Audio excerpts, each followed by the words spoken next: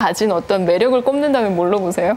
아마 그냥 제가 알기로는 그냥 구여치는 아마 독립출판 잡지 중에 가장 솔직함이 큰 장점이자 매력인 것 같아요. 뭐 기성출판물에서는 이별을 약간 항상 포장하거나 아니면 뭐 극복, 극복한 걸로 다룬다면 이 구여친 시리즈는 소- 그 과감 없는 표현이랑 솔직한 표현들이 가장 큰 매력인 것 같아요. 네. 장 대표님께서는 어떻게 보셨는지 궁금해요. 아, 예. 뒤집어졌다라고.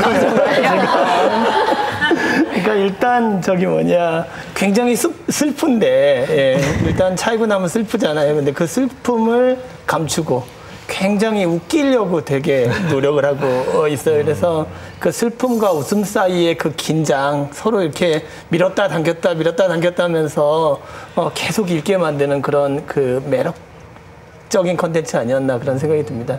이렇게 솔직하게 얘기해도 되나? 예. 그 구 남친은 도대체 어떻게 생각할까? 굉장히 궁금했어요. 솔직히 말씀드리면. 아, 예. 책의 어떤 모티브가 되어준 그 구 남친은 이 잡지를 알아요? 제 친구들이 다 겹쳐가지고 아마 알 거라고 생각하고 있어요. 네. 괜찮아요? 네, 뭐 제가 그 늘 그렇게 얘기하거든요. 억울하면 너네도 책을 만들어라.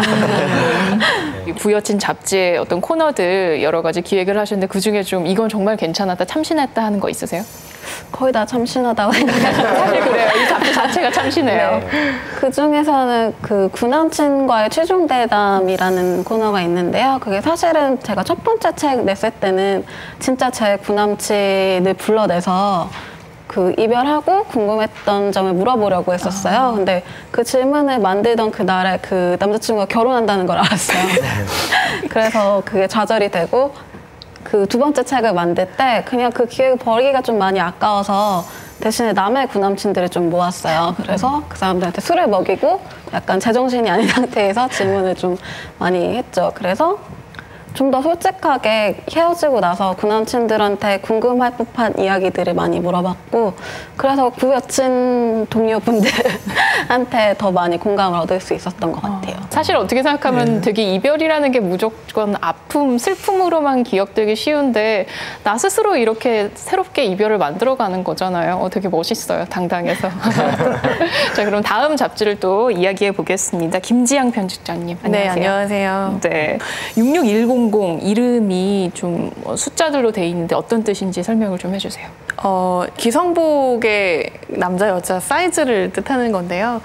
그 항의를 되게 많이 받았어요. 남자 100 사이즈는 뚱뚱한 게 아니다. 66나 뚱뚱하지 않다. 그러면서 굉장히 많이 항의를 하셨는데 어떤 특정 사이즈가 뭐 뚱뚱하고 마름의 기준이라기보다는 어떤 그 사이즈를 뛰어넘는 당신의 무한함에 대해서 이야기하겠다라는 의미를 가진 어떤 대표가 되는 숫자라고 생각을 하시면 될 것 같아요. 이런 몇 권의 잡지들 중에 그래도 66100이 어떤 컨셉이 제일 명확한 잡지가 아닐까 싶어요. 어떻게 보세요? 네, 아무래도 기성 잡지들은 다 보셔서 익숙해, 익숙하셔서 아시겠지만 뭐 되게 빼빼 마르신 여자분이나 아니면은 뭐 초콜릿 복근을 가지고 있는 남자들 사진들로 채워져 있잖아요. 그런 측면에서 66100은 되게 기성 잡지에 대해 약간 일침을 가한 잡지라고 생각을 해요. 그래서 사실 약간 통통하시고 그런 분들이 더 많기 때문에. 근데 그런 분들을 위한 잡지는 없는데 66100이 굉장히 획기적인 기획으로 세상에 나타난 것 같아서. 네. 네, 좋, 네. 좋 다고 생각합니다. 책은 어떻게 보셨어요? 장 예, 뭐 대표님은? 저를 위로하는 잡지라고. 예, 제가 지금 많이 가렸지만. 어, 일단 그 아까 독립 잡지 얘기할 때 시선의 독립이 되게 중요하다라고 얘기했는데 이 잡지야말로 정말 시선의 독립이 확실한 음, 잡지거든요. 그러니까 기존의 어떤 패션지도 예, 이런 몸을 가진 사람은 어, 다르지 않자, 않잖아요. 빼빼 많은 사람들만 정말 행복하고 아름다운가.